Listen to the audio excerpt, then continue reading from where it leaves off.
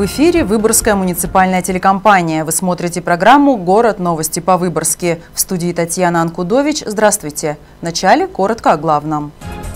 Крышу отремонтировали. В школе номер 7 возобновился учебный процесс. Все на лед. В Выборгском районе появилась еще одна хоккейная коробка. Кто хочет спасти лисенка? Герои нашего репортажа ответили «мы» и не жалеют об этом. Ученики седьмой школы вернулись в свои классы. Основные ремонтные работы на кровле здания завершены.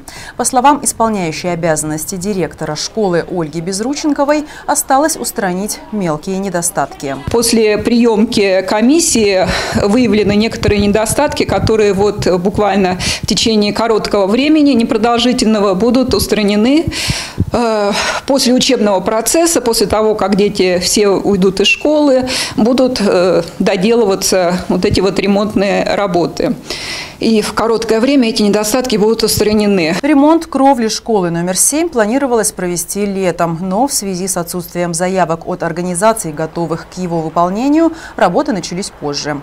Подрядчиком выступила компания «Форман». Средства выделили из районного бюджета. Однако в ходе ремонта было выявлено аварийное состояние нескольких декоративных элементов фасада, что также отодвинуло сроки сдачи объекта. В первом полугодии детям пришлось заниматься в других учебных заведениях, а учителя-предметники буквально разрывались между тремя школами. 9 декабря глава администрации Выборгского района Ильдар Гелязов встретился с подрядчиком и поставил жесткие сроки сдачи объекта после новогодних каникул. И они были выдержаны. Хочу выразить благодарность администрации района, подрядчику, коллективу учителей, э, работникам школы, которые вложили большой труд, большое терпение, уважение и понимание для того, чтобы результат был достигнут. И, конечно, хочу поблагодарить родителей и учеников, которые э, терпеливо ждали этого долгожданного дня. В Ленинградской области сократят сроки проведения ремонтных работ на сетях электро- и водоснабжения. Такое поручение профильным комитетам дал губернатор Александр Дрозденко.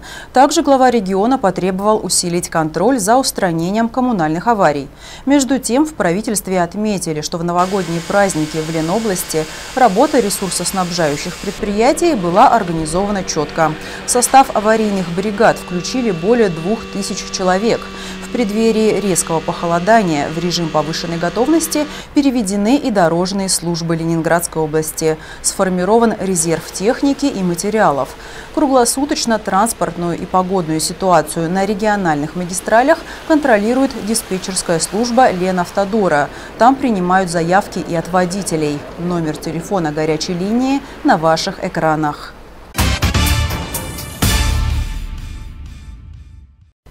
36 малышей, 17 девочек и 19 мальчиков появилось на свет в Выборгском роддоме за десятидневные новогодние праздники. Первые роды медики принимали утром 1 января. В начале 9 родилась девочка весом 3 килограмма 80 граммов. Как рассказала главный врач учреждения Светлана Шевченко, все младенцы и их мамы чувствовали себя хорошо и в положенный срок отправились домой. В целом новогодние каникулы в родильном доме прошли в обычном режиме. Для новорожденных в Ленинградской области подготовлены подарки. Набор необходимых младенцу вещей вручается родителям в управлении ЗАГС или в многофункциональном центре в день регистрации. В этом году состав подарочного комплекта обновили с учетом отзывов молодых мам в соцсетях.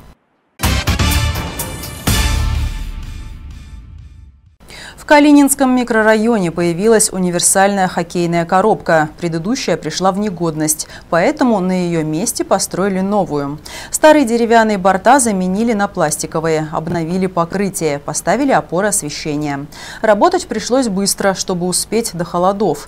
Новый спортивный объект посетили глава районной администрации Ильдар Гелязов, его заместитель Николай Шишкин и глава района и депутат по данному округу Дмитрий Никулин. Есть такая поговорка «дорогая ложка к обеду». а, поскольку мы видели, что все наши зимы предыдущие были, в общем-то, бесснежные и безморозные, то сейчас это, кстати, здорово. То есть э, наступила та погода, которая даст возможность сейчас залить лед, ну и э, детям, и всем, кто желает здесь проводить свободное время, играть в любимый им вид спорта, в хоккей. Содержанием ледовой площадки будет заниматься штатный работник, а затраты на воду и электроэнергию возьмет на себя администрация. Всего в рамках губернаторской программы развития физической культуры и спорта Выборгскому району было передано 4 хоккейные коробки. Остальные установленные в Рощино, Каменке и поселке Победа. С просьбой скорректировать расписание автобуса номер 183 жители Выборгского района обратились на прямую телефонную линию губернатора Ленинградской области. Проблема возникла в связи с ремонтом путепровода в Каменогорске. Глава региона Александр Дрозденко переадресовал вопрос специалистам областного комитета по транспорту. Там тему проработали и ответили следующее. Автобусный маршрут номер 183, курсирующий между Светогорском и Каменогорском, осуществляет работу работу по заказу администрации Выборгского района.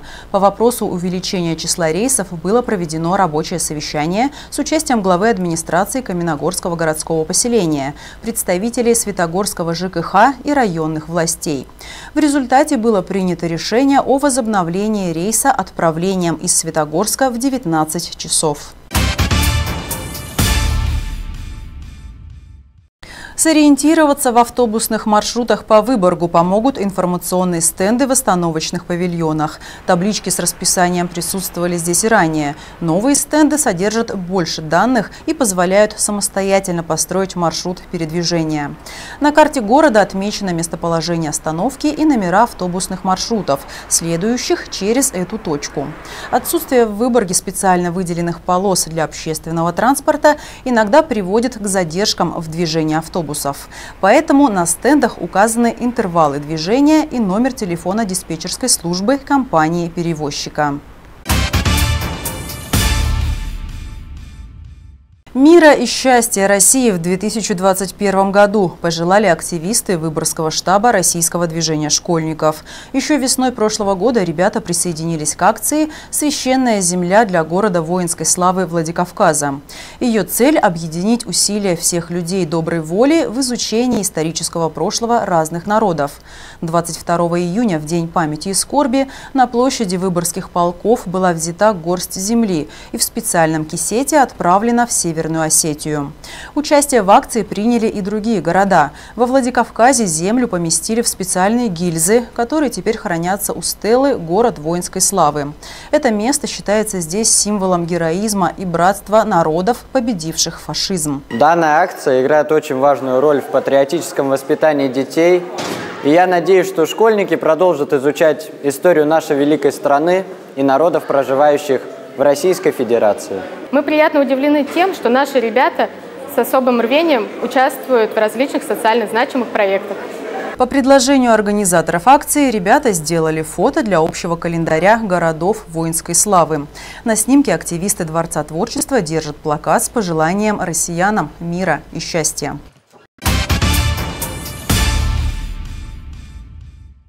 Во время пандемии люди стали чаще прибегать к компьютерной томографии, но это может быть опасным, предупреждают врачи. При первых симптомах ОРВИ граждане самостоятельно назначают себе обследование и спешат делать КТ, боясь вовремя не обнаружить у себя пневмонию. По этой причине больницы перегружены. В Ленинградской области всего 24 аппарата, а те, кому такое обследование действительно необходимо, не могут его пройти. Медики утверждают, что если болезнь протекает без осложнений, нет признаков дыхательной недостаточности и стойко повышенной температуры, то исследование может быть бесполезным, а при злоупотреблении методом вызвать проблемы со здоровьем. Сегодня вы спаниковали, делаете себе КТ раз в неделю, потому что вам страшно от ковида. А через два года, извините, у вас будет рак щитовидной железы или рак легкого. То есть всегда надо думать немножко вперед. И это очень важно, вот эти вот все дозы отслеживать. И не делать лишних исследований, если они не нужны. Никто не говорит о том, что не надо делать как-то. Но надо как-то делать тогда, когда нужно. Компьютерная томография хорошо выявляет изменения в легких, но не диагностирует инфекцию. Это сложный метод, который связан с высокой лучевой нагрузкой на пациента. Если есть подозрение на COVID-19 и болезнь держится дольше 6 дней, нужно сделать рентгеновский снимок. Если на снимке к концу первой недели не будет изменений, значит их не будет и при КТ. Врачи рекомендуют, прежде чем пройти обследование, нужно проконсультироваться с лечащим врачом и ориентироваться на его его рекомендации. 12 января в России отмечается День работника прокуратуры. В Выборгском подразделении ведомства трудится порядка 20 человек. В минувшем году ими было выявлено более 3000 фактов нарушения закона. По каждому приняты меры прокурорского реагирования.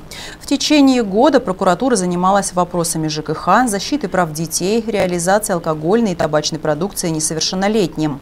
Отдельное внимание в 2020 было уделено расходованию бюджетных средств и своевременному своевременной выплате заработной платы. Вопрос по своевременности выплаты зарплаты точно так же не э, снижает свою актуальность, тем более в условиях пандемии э, текущего года. Принятыми мерами реагирования удалось обеспечить выплату задолженности по заработной плате на сумму свыше 18 миллионов рублей. Это достаточно немало на ряде предприятий Выборгского района. Тем не менее, коротко скажу, что проблема пока остается. И на нескольких предприятиях э, нашего района, находящихся в стадиях банкротства, долговая нагрузка перед работниками работниками на текущий момент не устранена. Говоря об уровне преступности в Выборгском районе, Василий Шилин отметил, что количество зарегистрированных преступлений в целом выросло на треть. При этом уменьшилось число преступлений в общественных местах, совершенных гражданами в состоянии алкогольного опьянения. Кроме того, снизилась подростковая и рецидивная преступность. О пенсиях, пособиях и трудовом стаже пойдет речь в очередном выпуске программы «Городская среда». Гостем нашей студии станет руководитель Выборгского управления Пенсионного фонда Российской Федерации Алла Свищ. Программа с ее участием выйдет уже в январе. Адресовать вопросы Алле Николаевне Свищ можно по телефону 26347 в нашей группе Выборг ТВ «Интересные новости» в соцсети и по электронной почте инфособака-выборг.тв. Отправить их нужно до 15 января включительно.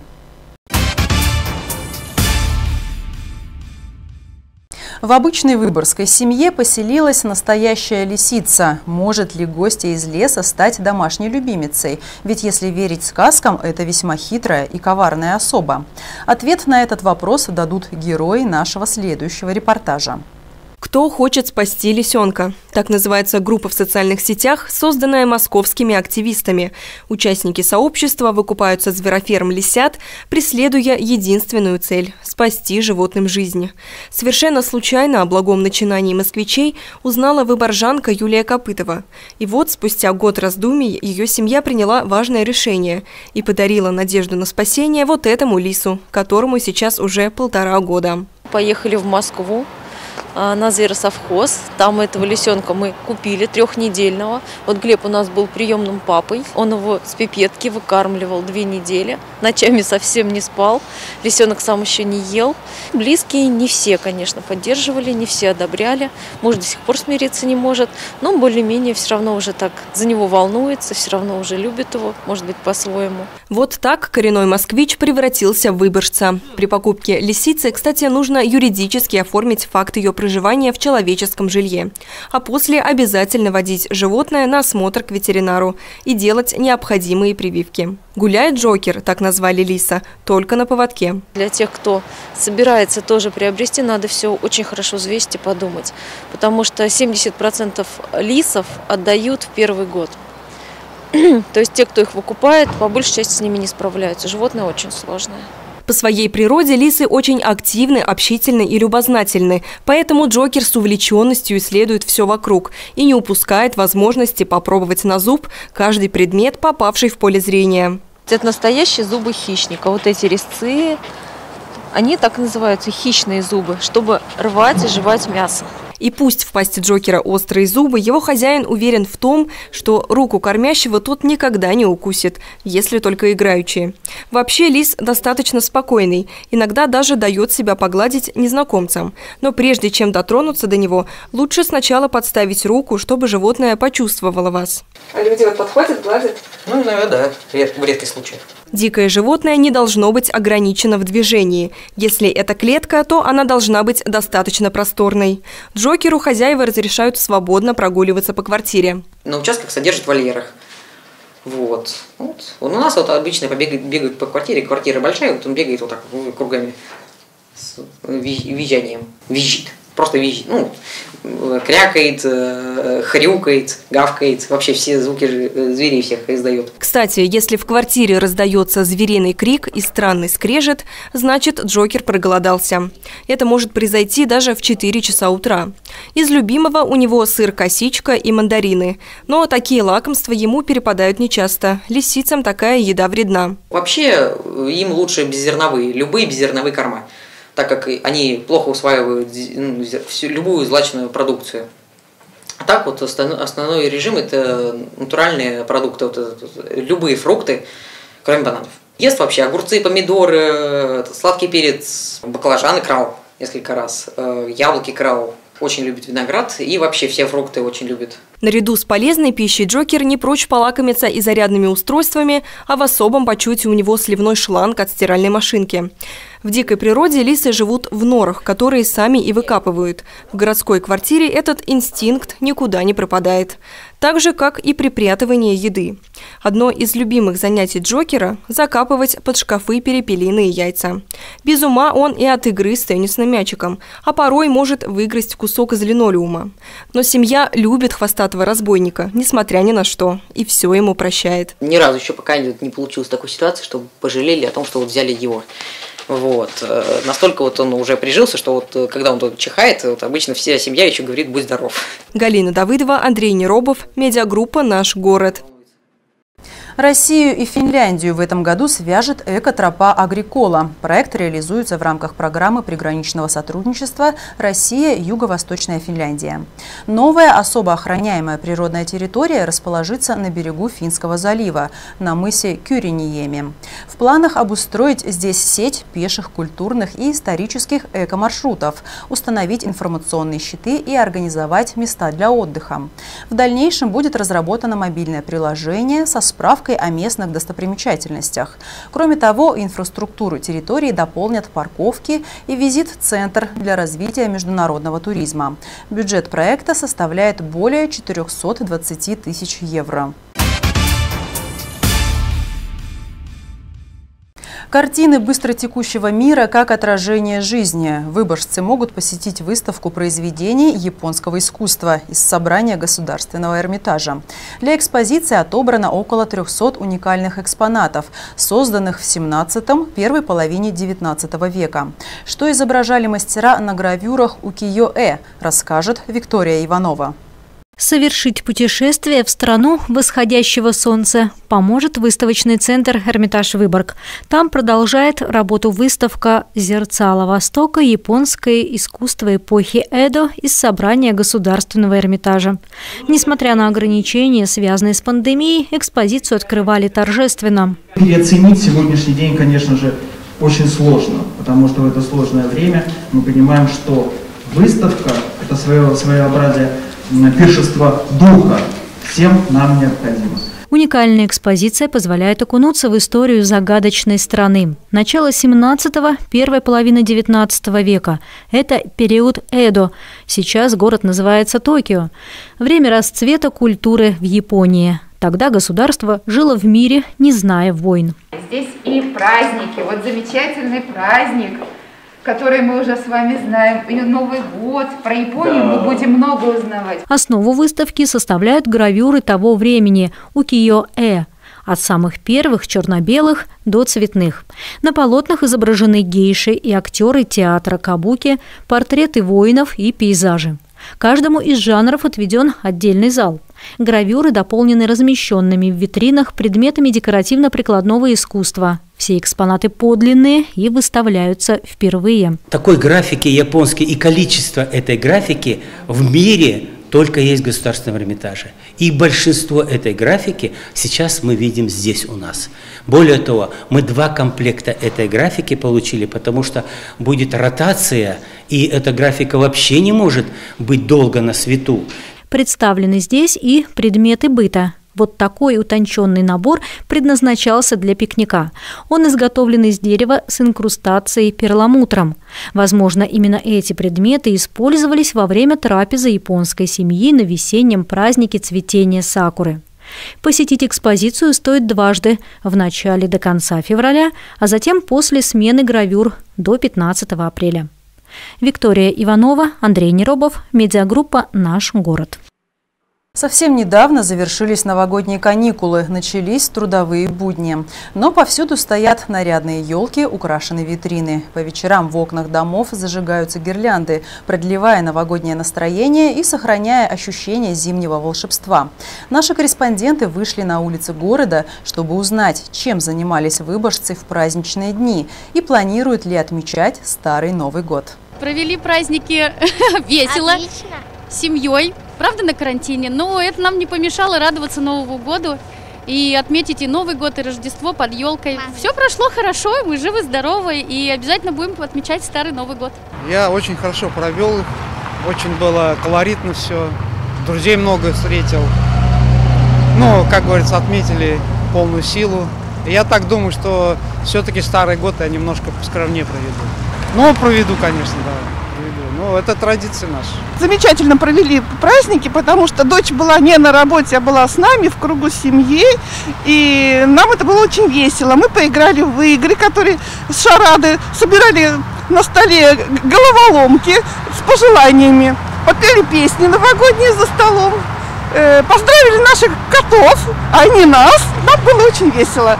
Рождественские праздники э, гуляли по городу, ходили на замерзшее озеро, э, смотрели, как испугались нас лебеди.